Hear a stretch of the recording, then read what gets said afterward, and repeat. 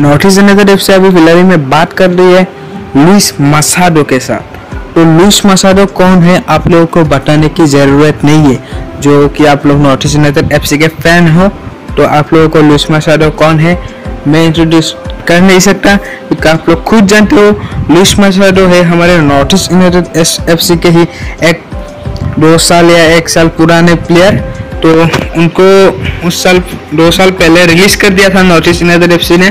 तो अब North East United F C Jose Luis Machado के पीछे पड़े हुए हैं। तो लुइस मसाडो को साइन करते हैं तो हमारे लिए अच्छा होगा। तो एक बहुत ही अच्छा प्लेयर है तो सब लोग, आप लोग जानते होंगे। पर्सनैलिटी है और स्किल है। अनुभव की कोई कमी नहीं है, पुर्तगाल के है प्लेयर तो गाइस आप लोग समझ सकते हो। तो नेक्स्ट नेक्स्ट हफ़्ते हम लोग एक वीडियो बनाएँगे, जो कि नॉर्थ ईस्ट यूनाइटेड एफ़ के कौन रिटेन हुआ है। कौन एक्सटेंड कर रहा है, कौन किसको एक्सटेंड कर दिया, ये सब के ऊपर एक वीडियो आएगा तो आप लोग सब्सक्राइब करना और फॉरेन साइनिंग के ऊपर वीडियो आएगा तो सब्सक्राइब कीजिए।